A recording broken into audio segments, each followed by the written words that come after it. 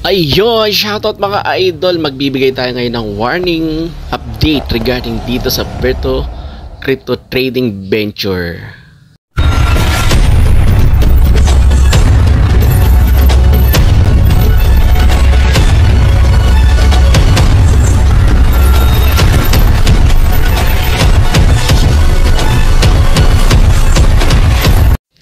Ang kanilang CEO ay si Micaela Tagonon, CEO and Smart Trader of Crypto Trade.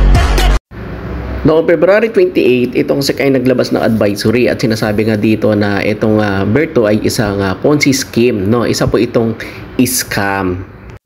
At ang mga payout na nanggagaling sa Berto ay isa pong fake profit no? Hindi naman talaga sila uh, kumikita sa trading kundi ito po ay galing sa mga bagong recruit lang. At at noon nga, nga March 2 ay naglabas tayo ng video at nagbibigay tayo ng warning dito sa ating mga kababayan na huwag mag-invest o stop na, itigil na yung pag invest dyan sa Berto dahil yan po ay isang uh, Ponzi scheme Nito nga April 19, 2024, ang SEC ay naglabas ng order of uh, revocation. So nire-revoke na po ng uh, SEC yung lisensya nitong uh, BERT 2, no. So ibig pong sabihin uh, talagang illegal na sila, no. Bukod doon guys, no, uh, itong SEC ay naglabas ng uh, case number. Ayan, so mukhang kakasuhan na ng SEC itong uh, si BERT 2, no. Kasama po dito sa kanilang uh, revocation, no, sa investigation na itong si Michael Togonon, si Makey Togonon at si Miles Togonon at itong si Micaela ay sangkot dito sa uh, Verto na Ponzi scheme. So yung SEC ay naglabas ng advisory at na-revoke na rin yung kanilang license dahil dito sa mga ganitong klase ng uh, alok na kitaan itong uh, trial plan nila na 30% in 7 days at yung uh, mid plan nila 80% in 14 days at itong pro plan na 200% in 28 days. So dito pala nakita na ng SEC na ito ay isang uh, panibago na namang Ponzi scheme. So ito na kaya natin sinasabi na itong uh, Berto ay e-exit na no dahil dito sa mga indication ng kanilang mga exit uh, moves to. Halimbawa itong dating uh, 30% in 7 days no ginawa na nila itong 5 days na lang pero 80 days na. So yung 1,000 mo magiging 1,800 na in just 5 days ha.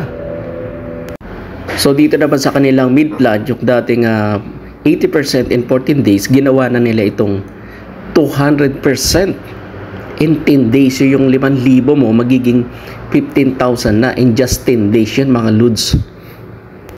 At ito na mga ludi yung pinakamatindi no? Yung dati nilang uh, pro plan na 200% in just 28 days ha? So ginawa na nila itong 500% in just 20 days mga kapatid. So dito pa lang too obvious na talaga na i-exit na to. 20 days no? Baka wala na to So, itong 10,000 mo daw magiging 60,000 na. At ang validation lang nitong uh, kanilang duration nitong uh, para kayo ay mag-pay in no sa ganitong uh, complan ay mula lang noong May 31 hanggang June 2. So ibig sabihin mga loads tapos na. Pero kung makikita nila na marami pang gustong humabol eh baka i-extend na naman nila. Ito guys, sobrang red flag to. Alam niyo ba na noong uh, May 25, meron silang live at uh, naka-announce diyan na meron silang pro power plan, no? Effective 'yan uh, May 26 up to May 29 no ang kanilang promo ay 500% in 40 days maturity. Ngayon mga kapatid, no, nitong nakaraan lang uh, May 30 ay naglabas na naman sila ng panibago na namang Pro Dual Plan. Yung Pro Dual Plan ay 500% in 20 days na lang. No, yung 10,000 mo magiging 60,000, 'di ba? Nung May 25 is 500% in 40 days. Ngayon ginawa na nila yung 500% in 20 days. So hanggang May 31 to June 2 na lang to.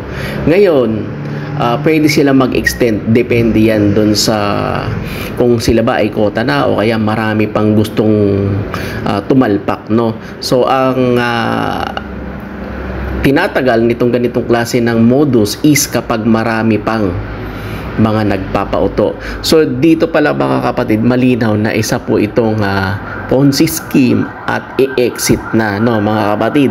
So we do hope na itong ah, binigay nating warning, itong analysis ay maging basis ninyo para itigil nyo na yung pagtalpak dyan. Mag-pull out na kayo mga kapatid. No, baka umabot to ng ah, hanggang 20 days na lang. Oh, swerte nyo na kung lumagpas at kayo ay makapag-payout pa. Okay mga Ludi, abangan pa natin mga Lods yung susunod pa nating video update regarding dito sa Bear 2. Okay, hanggang sa muli, Shim na Anyol. Babush!